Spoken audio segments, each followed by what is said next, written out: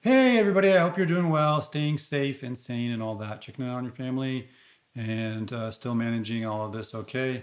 Um, uh, we're going to do one more video uh, lecture just to wrap things up. And uh, please, please, please be sending me your projects so I can be sending you feedback. And then we'll, we'll do a final in a couple weeks and that'll be the end of things. So hang on, we're almost there. Um, Today's lecture, um, for some people, uh, maybe will say, why, why would I ever have to know this? This has nothing to do with making music. And there's some truth to that. I'm not delusional in, in thinking that you can't make great, amazing music. And most, most people, most of the population came without digging this deep into, into the MIDI specification and all of that. But, but I do honestly believe that, that some of this stuff is, is really helpful for those of you that really want to dig deep and, and learn, particularly like learn if you buy a keyboard, you buy a controller. There, most people really only scratch the surface on anything really. Most DAWs, most plugins, most uh, keyboards or synths or, or control surfaces you buy, most people barely scratch the surface on what they're capable of. And particularly controllers and keyboards, um, knowing some of the things that I'm going to talk about today can really help you dig deep you can really do advanced uh, programming, advanced uh, utilization of functions that most people never find and get to. And so hang on through today's lecture and, and some of this stuff uh, will, will be really useful for those of you that kind of want to go the next step with, particularly with hardware keyboards and control surfaces and stuff like that, I think more than anything else.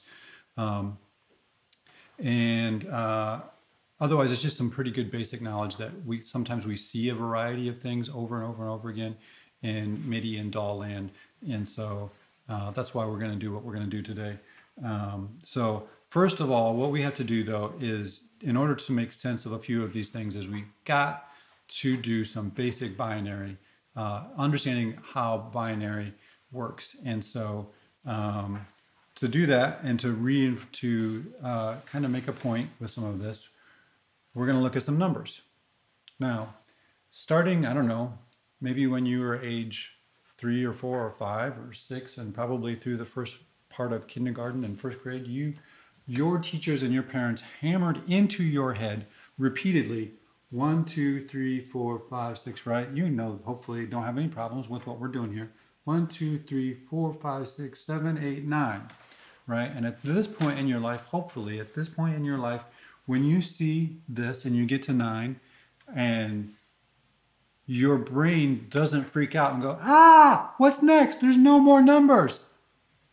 Right? Hopefully you don't do that. Hopefully you realize at this point in your life that you just go to the 10th place, right?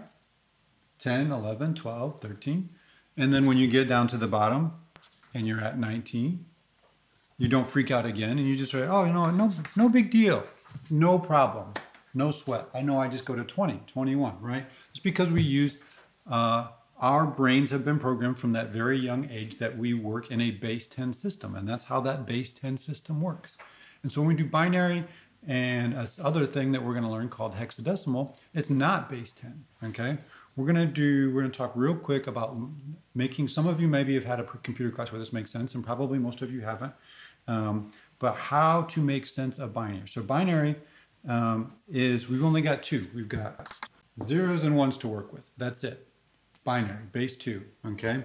And we've got to do everything that we want to do with those two digits. That's how computers work, okay? It makes them, allow, allows them to do very, very quick, fast computations because of the simplicity of all of that. And so first I'm going to do this, right? And we're going to start to try to make sense of what this is, okay? Uh, as we mentioned in uh, our previous lecture, we talked about uh, with computers, we talked about uh, a single bit is a one or a zero. That's a bit. A byte is eight bits. So this is eight bits is a byte. Four bits is a nibble, right? Again, I didn't make that up. That's for real. And the way that this works is that, so how does this work? If I have a one here, that's one, okay? So far so good, right?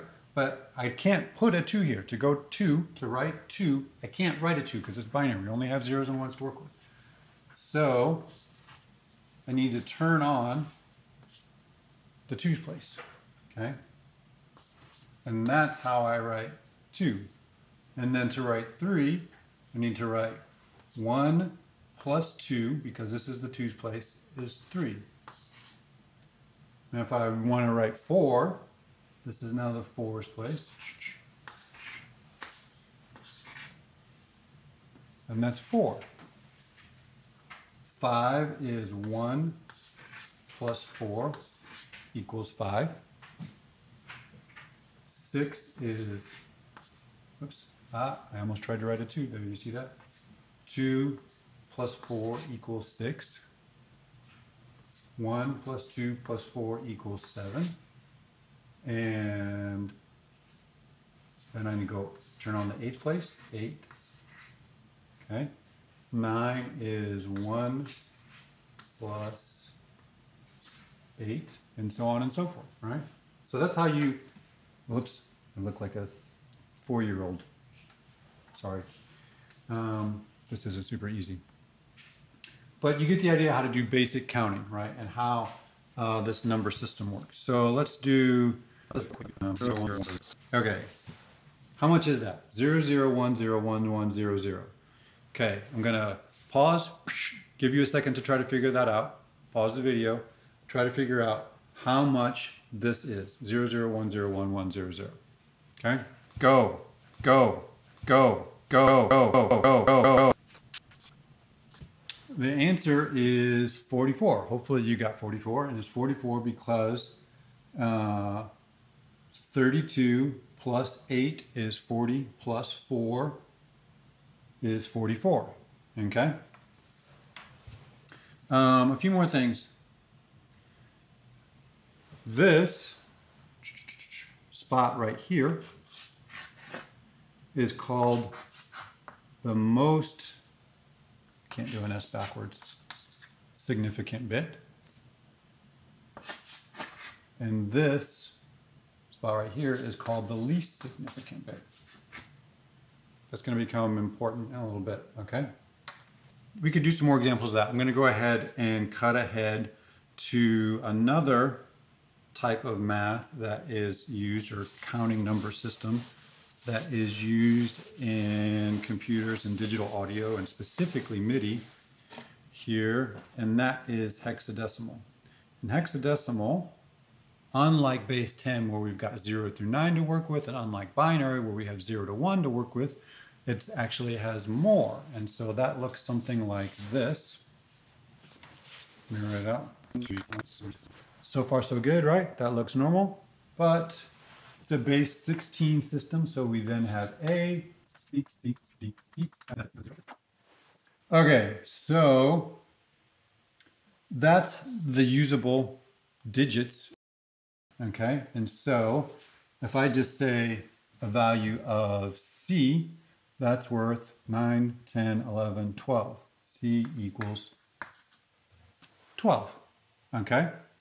If I have two digits, let's see here, I'm going to do um, 2F. Time out. Yes, sweetie. Oh, cool. Thanks. Okay, so 2F. F equals 15. We already talked about that right here. 2, because I'm in the second placeholder, is 2 times 16. And so 16 times 2 is 32, plus 15 equals 47, okay? We're not gonna have to do a lot of hexadecimal math, but I wanted you to know what that system was because we actually see it a lot. We might see it in DAWs. We certainly see it a lot on control surfaces and other controllers um, to indicate values uh, in a very, very small uh, placeholder system, right? To, to you can show really, really large values in a really short, small uh, two placeholder system. That's one of the big benefits of hexadecimal, okay? Okay, so with that being said, okay, so what are we gonna do with this stuff? We are going to look at MIDI messages or a summary of how basic MIDI messages are put together Um, so you know how that that works on a very detailed fundamental level. And so MIDI messages are usually broken down and are three, sometimes uh, to oftentimes three bytes, right? Three groups of eight bits, right? And there are what is called status bytes and data bytes. And so anytime where this particular place right here, the most significant bit, remember, anytime that's a one, then we have a status byte. And anytime that that is a zero, that is a data byte. Status bytes tell us what to do. Data bytes tell us to what extent or to what degree to do them. Okay? And they're broken down as this chart here indicates. So if I'm going to play a note on message, okay, it's a, one of the basic fundamental MIDI messages we talked about at the beginning of the semester. It's like says, hey, play me a C7, play me a a uh, A, right? A4, something like that. And so we start with this status byte of 1, 0, 0, 1. That's the first nibble of the status byte. And then it would be 0, 0, 0, 0 would be MIDI channel 1. Um, that's a whole nother part of, of this concept is MIDI channel 1 corresponds to 0, 0, 0, 0. The highest that I can go with a nibble is 15, right? And so if all of these are turned on, then that actually corresponds to MIDI channel 16. I know that's a little confusing. That's a it's one of the things that confuses people a little bit learning this stuff. Um, but hang on, let's go through this. Um, so this is a note on message on MIDI channel 1, okay? And then I need to say what is the key or the note number, okay? And a note number corresponds to any of the, the notes on the keyboard. We can have 127 um, different note possibilities here, and then the velocity. And so one thing I usually like to try to point out with here is, is you've probably seen it. And here I'm recording the dialogue to our lecture here. But if I create a MIDI channel, you probably noticed this. A lot of people have, and then don't ever figure out why they see this. Okay, I just created a MIDI channel. And in the inspector, I'll move this over so you can see. Watch what happens. If I pan, I can go that way, minus 64, that way plus, one, plus 63. What does that equal? 127. If I add the volume and turn the volume up all the way, where does it go? 127. If I send, if I use one of these sends, please read. 16.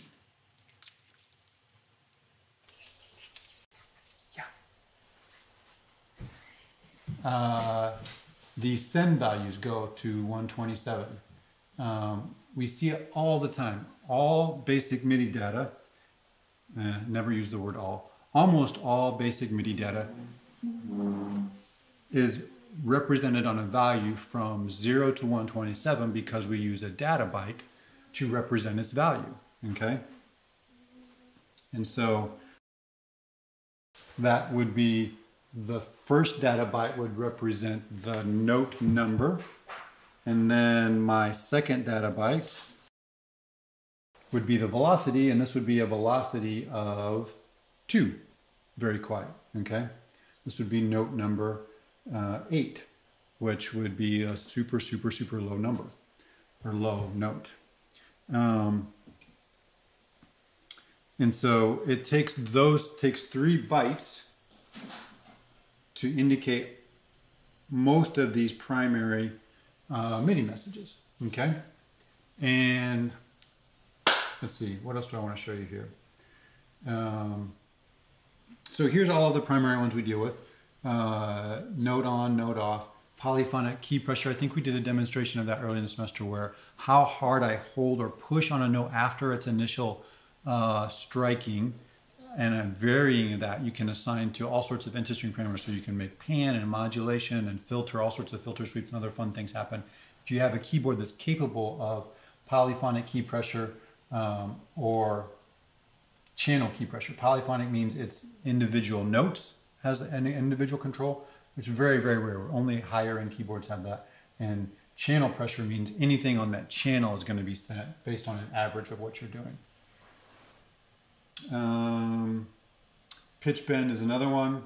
Uh, I'll point out here, there's all sorts of interesting things making use of control changes or continuous controllers in MIDI. And so if I have first four end values of 1011,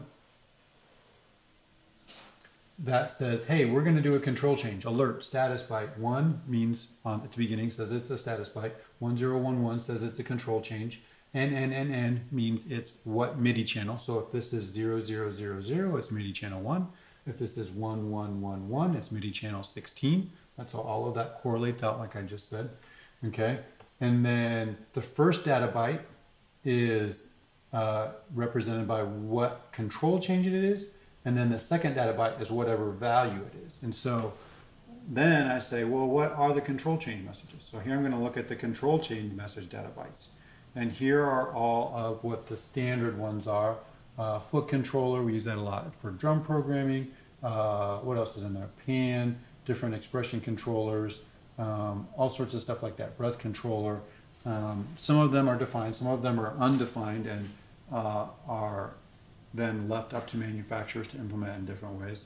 Um, so there's a full list of control change messages. And this is part of where knowing this stuff can be useful because if you understand some of how this works, you understand um, how hex works a little bit um, and these messages, when you start looking at the digging deeper into using the specifications and the advanced functionality of what a lot of these devices can do, um, you, you look at the back of a reference manual and you find a couple things. One is a MIDI implementation chart, which is super important, I think, to understanding. Implementation chart, images, and here you can quickly see that there are dozens and dozens and dozens of something that looks almost very identical to the same thing. That's because this is a very standard format that you can find in the back of most manuals. And, and what it does is it tells you basic what can this device do, what it does and doesn't do. Basic MIDI channel uh, transmits uh, no. Is it recognize all channels? Yes, 1 through 16. Mode, uh, does it transmit MIDI mode information? No, no. Does it recognize MIDI mode information? No, no. Um, note numbers, yes, 0 through 127. Note velocity on off, yes, sends and receive, transmits and recognize. Um, aftertouch, does it do aftertouch? Yes. Uh, both key and, uh, which is polyphonic, and channel, okay, like we just talked about. Does it do pitch bend? Yes. Um, zero means yes, X means no. And then here are the modes we just talked about. Remember all that stuff in the beginning of the semester? Omni on poly, omni off poly. See, that's here, proof. I didn't make that crap up. Here it is. Um, mode three, omni off poly.